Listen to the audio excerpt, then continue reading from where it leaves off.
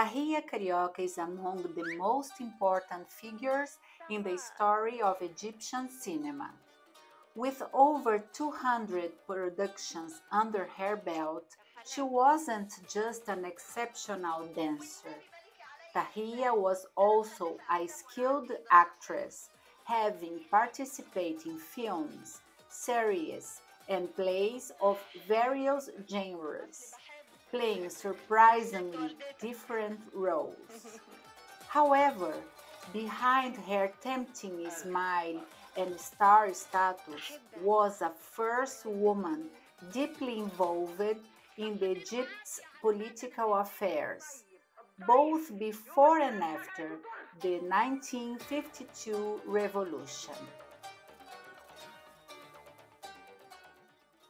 Tahia Carioca was born Badawiya Mohammed Ali El Nadani Karim in 1915 in the Egyptian city of El Ismailia, daughter of Muhammad and Fatma. Her father was a boat merchant who married six times. At age 60, he married her mother, who was only in her early 20s. When her father died, she was very impacted and could barely speak. She was sent to live with her old half brother Ahmed. As a child, she showed talent for acting and dancing, but her brother, who was deeply opposed to her dance, would, in the name of his reputation and family honor, repeatedly beat her. While living with him, she was treated like a slave and chained. Every time she tried to escape, he found her and tortured her even more, until one day he shaved her hair to prevent her to leave the home. Reaching the age of 13, she couldn't take it anymore and with the help of her nephew Osman fled to Cairo to be with Suad Mahassan, who was known to her brother. Mahassan was at the time a famous Syrian singer and dancer based in Egypt. Tahia asked for a job at Suad's nightclub, but she refused to employ her due to the bad reputation she would get for working there. However, many of Suad's friends got to know Tahia through visits to her home. They all advised Suad to put her in one of her shows as a chorus girl, but she refused. After some time, she relented and made her an extra in one of her plays following the advice of the actor Bishara Wakim. Tahia studied at Ivanova Dance School before moving to Muhammad Ali Street, which was Cairo's equivalent of Broadway. When Mahassan was forced to return to Syria with her husband, she left Badawiya in the capable hands of her friend Badia Masabni. Masabni was a Syrian Lebanese singer and dancer. Her casino was in the heart of Cairo. Kings and princes from all around the world, including King Farouk of Egypt, flocked to the Badia Casino to hear the latest music and watch the best dancers. The name Tahia was given to her by Badia, while her artistic last name was bestowed by her audience, who witnessed her perfect interpretation of the world famous Carioca dance. Carioca is the name of a song and dance from 1933 that appeared in the movie Flying Down to Rio with Fred Astaire and Ginger Rogers, and that gained worldwide attention. Choreographer Isaac Dickson, who worked at Badia's casino, suggested this style for a solo by Tahiyya. She asked her percussionist, Zaki, to play a similar beat on his tabla and thus introduced Latin rhythms in her show. From then on, she became known as Tahiyya Carioca.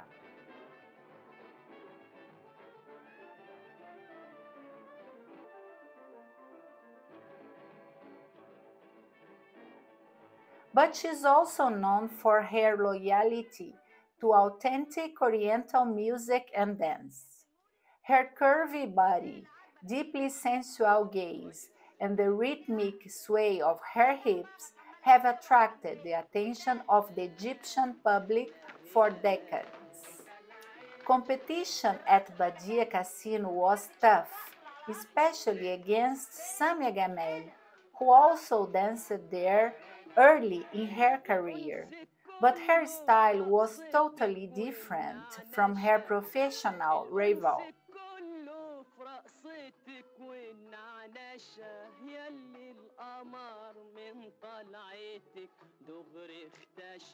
Tahiyya rose to fame in 1940, five years after joining Badia's dance troupe. However, this cost her dearly. Her sister Fatma was married to Ali El Gedawi, who divorced her when Tahiyya rose to fame. He refused to remain married to a woman whose sister had such a dishonorable profession. After the divorce, Fatma left her daughter, Raga El Gedawi, with Tahiyya in Cairo. During this time, Egypt was suffering under the weight of British colonialism and the world wars. However, Tahiyya would go on stage at night as usual, just as an excuse to drive her car after her performance, loaded with a trunk full of weapons to the Ismailia city where the volunteer soldiers would be camped to fight the British. Another famous pre-independence anecdote is that Tahiyya secretly helped then officer Anwar el-Sadat hide from British soldiers. It was also in 1952, during the Free Officers movement, to overthrow the monarchy that she married officer Mustafa Kamal Sed'i. However, he left the group disapproving of the intention of a coup d'etat. Together, Sed'i and Carioca secretly distribute flyers inciting the masses to revolt against the free officers. When the government discovered the pamphlets, and her secret marriage, they arrested her, and it was only her first time in prison in 52. It was during this time that Tahiyya uttered one of her many famous phrases Farouk is gone, and many Farouks arrived in his place. Left wing activist Naila Kamel said she was one of the figures who most impressed her during her five years in prison. She said, When Tahiyya walked in, the entire prison rose to its feet. Political prisoners of all ranks, through the day, tried to pass by her cell or glimpse her presence from far. Officials and even the prison director himself went to her in the cell in the name of peace, welcoming her, offering their services, and tending to her needs. Tahiyya used her privilege to protect the prisoners from the inhumane conditions they were forced to live in. She made headlines when she led a hunger strike inside the prison, demanding basic human rights for female prisoners. They maintained the strike until a Human Rights Commission visited the prison and its director was replaced. After her first stint in prison, Tahia would often open her home to former prisoners as they recovered from seclusion. She got over her multiple prison stints and let her political work seep into her acting chops. She has been in films and plays filled with political satire and social commentary, especially in her later years on stage and TV. Before we delve into Tahia's Carioca success as an actress and high society dame, let's go back to her dancing talent. It was generally agreed in the artistic world that Tahia has refined the dance of Egypt to a level never achieved before, to the point that dance started to be compared to the arts admired by high society. She was known to have commented that in ancient Egypt dancing was a form of worship of the gods. It's impossible to list the names of the hundreds of dancers who learned directly or indirectly from her fantastic style.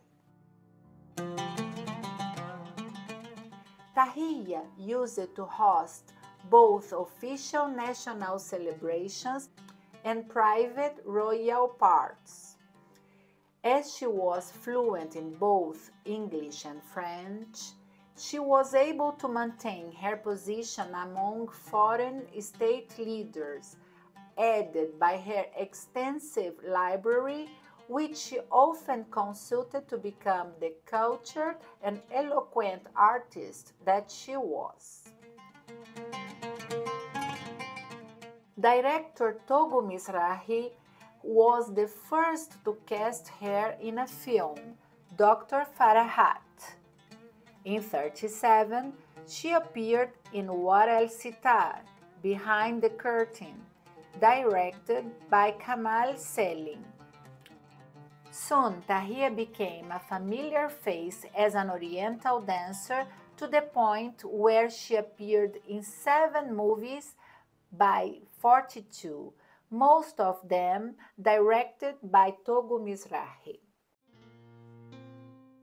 However, she worried about being treated only as a belly dancer, as she saw herself as a talent movie star, especially after the success in the role that Togo Mizrahi gave her in Leila Bint El Rif, Leila, the country girl. Tahia decided to produce films to become a recognized actress.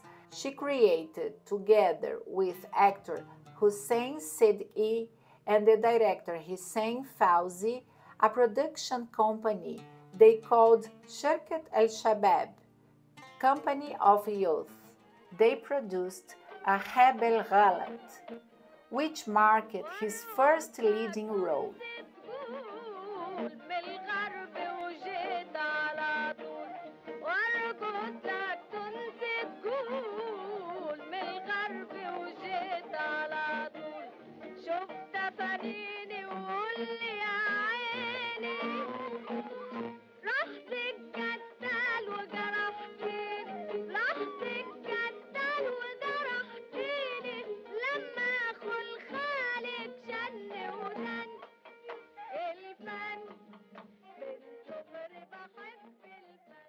Despite the success of this film, which was followed by other films, Tahia still needed a spectacular success that would prove her talent.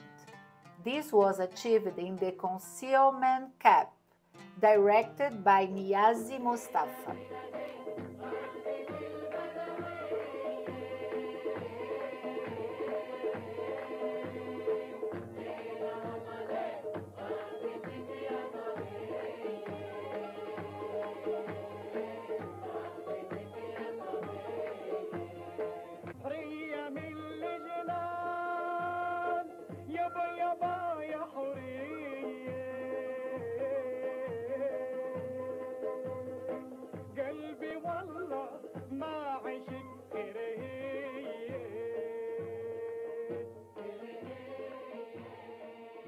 With the end of the Second World War, musical comedies became to flourish in the hands of Hussein Fawzi, Ahmed Badrakhan, and Helmi Rafla.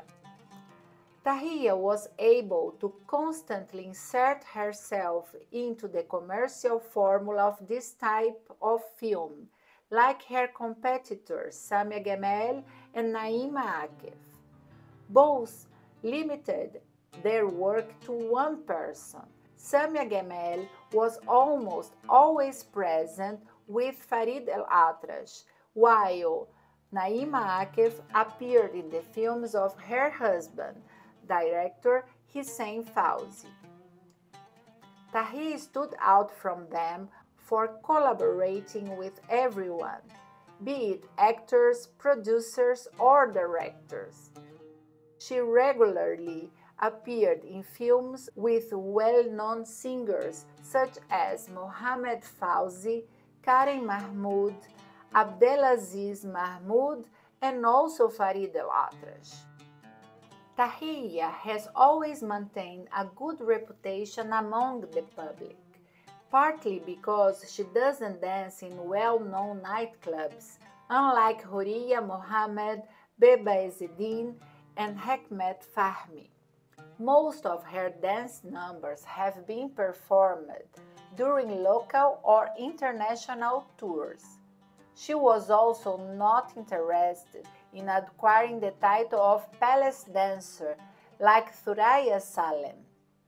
Even her ambiguous relationship with King Farouk was on a surprising equal footing. Tahia was smart enough to keep up with the changing tastes of the public, starting out as one of the stars of musical comedies which were prevalent during the 40s and 50s. She switched to social dramas in which she was prominent to family comedies in the 60s Tahia didn't mind playing good supporting roles alongside leading roles. She did this with Leila Murad in Shat El with Aziz Amir in Ismail Nasib, with Faten Hamama in Ibn El Halal, and with Magda in Shat El Asrar. Tahia has been married 14 times. Her list of husbands include Rushdie Abaza. One of the stories is that Tahia taught Rushdie how to smuggle weapons and thus perform his first act of political resistance against British colonialism. Unfortunately, on a trip to Lebanon, Tahia caught Rushdie's involvement with a French woman in a bar on Al Hamra Street in Beirut. An epic fight ensued, where Tahia dragged the woman by her hair and demanded a divorce. It's true that she went through several failed marriages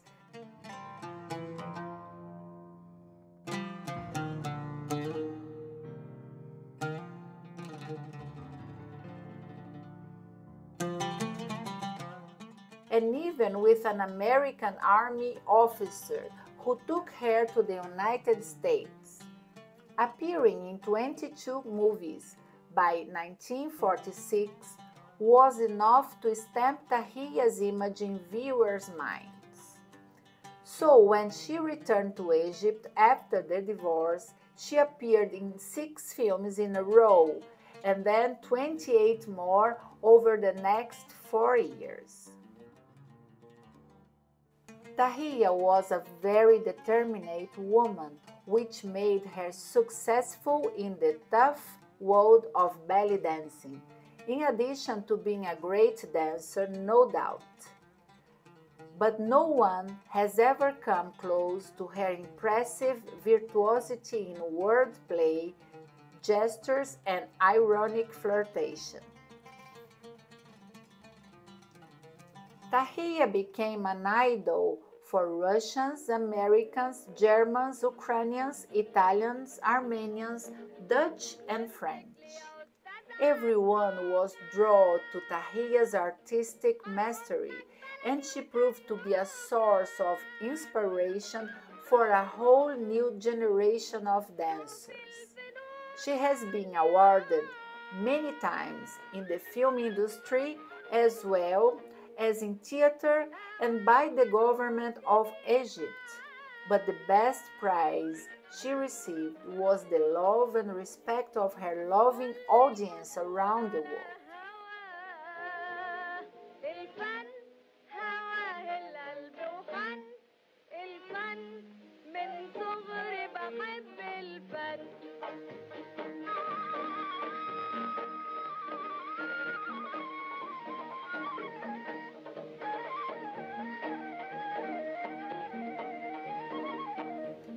As a woman, she broke many barriers, took up a severely despised profession, raised her niece alone, and had all her money taken by force by her last husband.